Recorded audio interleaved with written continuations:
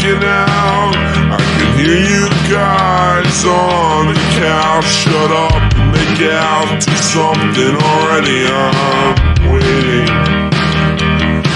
After reading that text from your friend, I start losing all my confidence. So I'll stay tired. I know soon I'll be